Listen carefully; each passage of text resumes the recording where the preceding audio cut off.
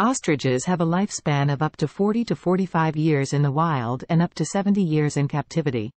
Ostriches are omnivores and eat a variety of foods, including plants, insects, and small animals. Ostriches lay the largest eggs of any bird species, with each egg weighing up to 3 pounds.